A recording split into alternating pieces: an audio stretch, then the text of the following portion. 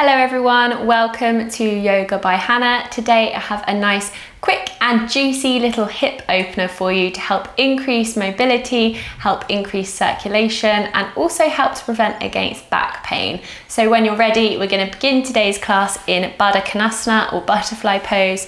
So just bringing the soles of your feet together, allowing your knees to fall out to the sides. Just play with the distance of your heels and your hips here, finding a position that's comfortable for you in your body today.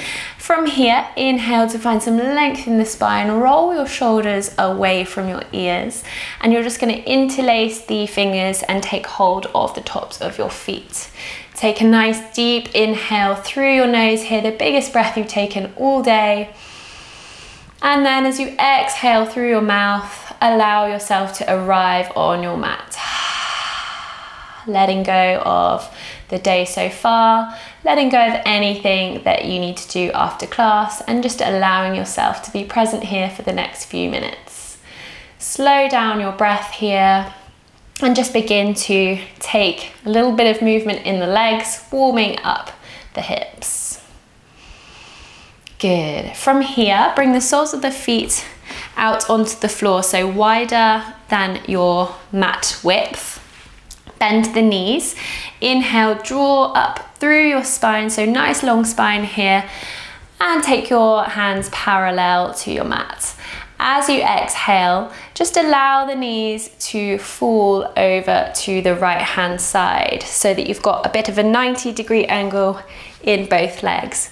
Inhale to find some length in the spine, and then as you exhale, take it over to the other side. Oh, I wonder if you heard that hip click then.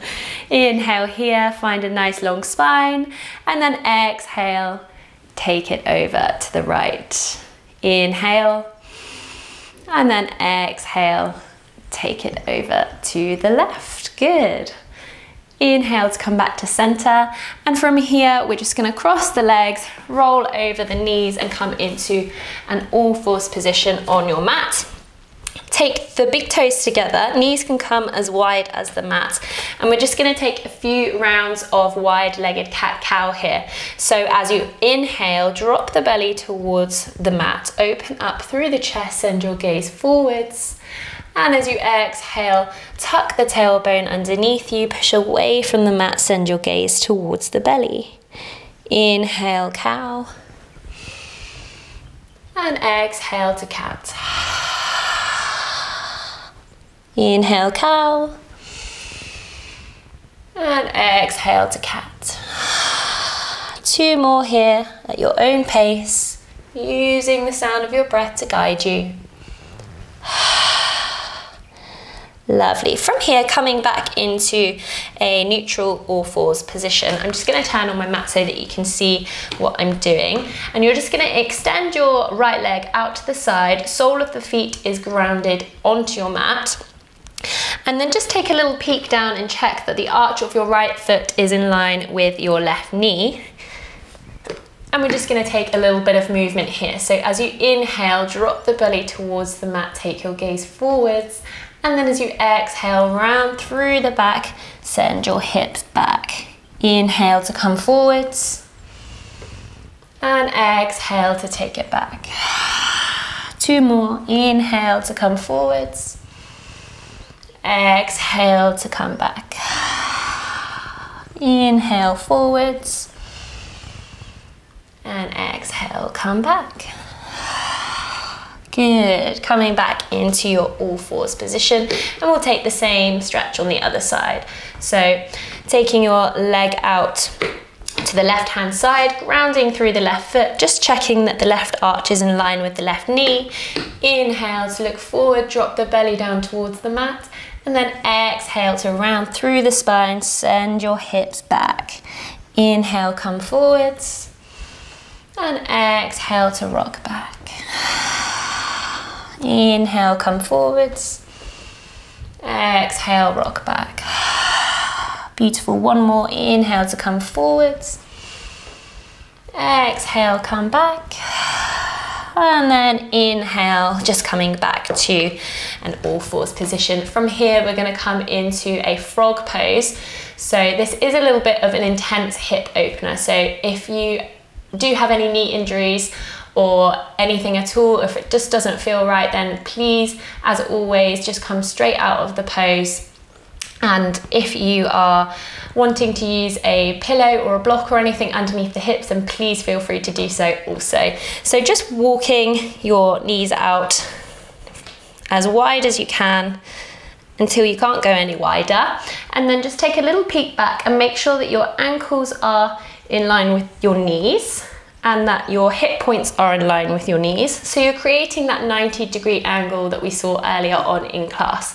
Flex the feet and just shift your weight into the hips. From here, you can stay on the hands or otherwise if it's available to you, you can come down to your forearms and we're just gonna take four rounds of breath here, sending your breath to your hips.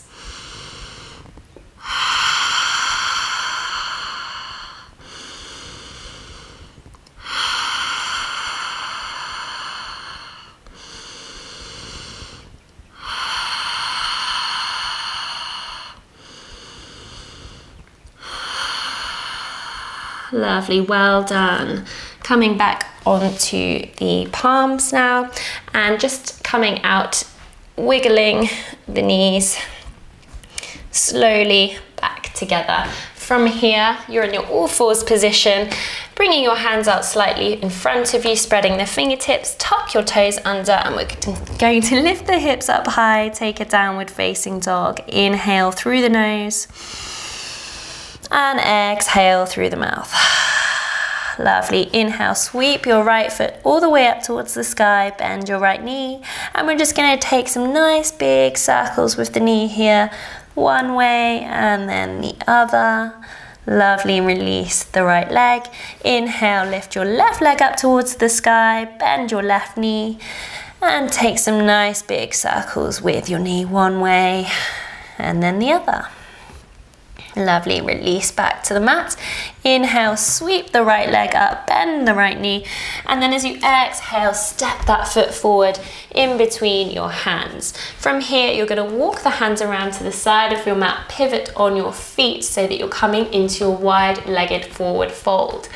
Just take a peek at the feet and make sure that the toes are slightly facing inward, so slightly pigeon-toed here. Inhale to find a nice flat back. And then as you exhale, draw the forehead towards the mat, coming into your wide-legged forward fold. Inhale, find some length, nice flat back.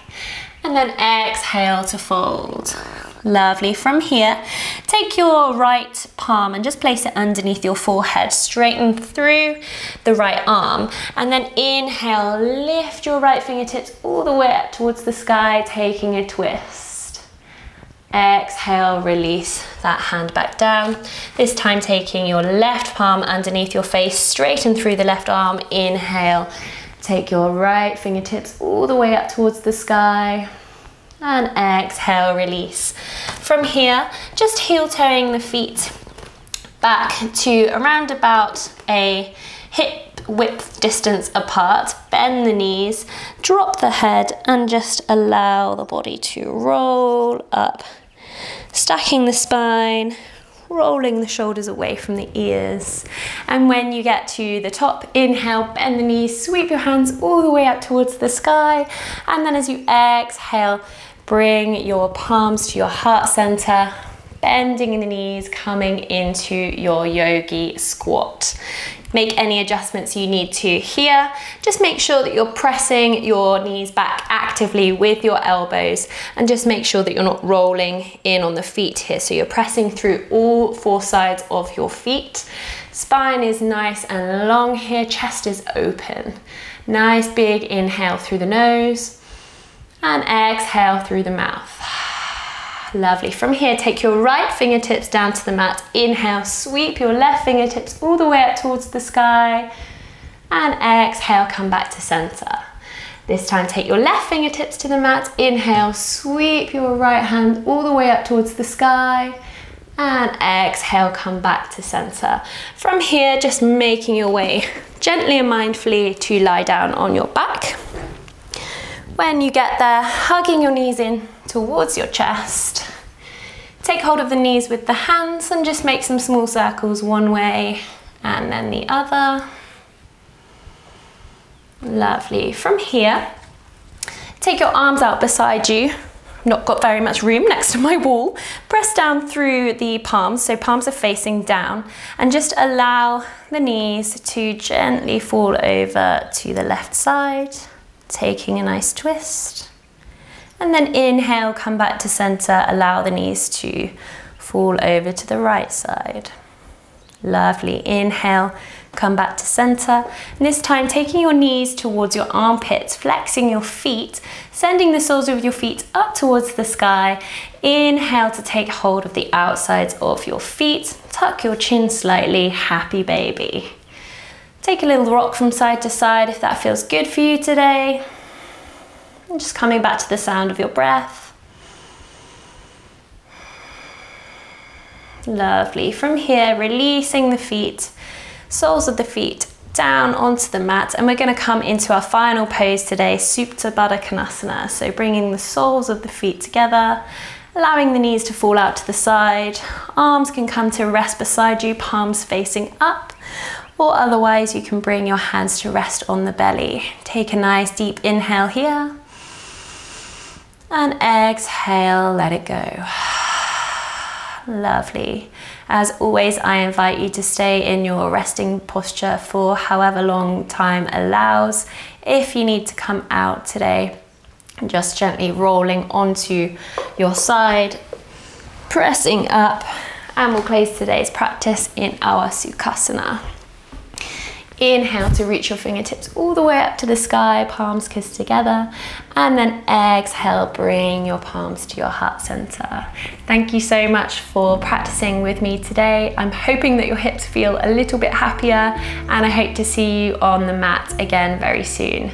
Namaste.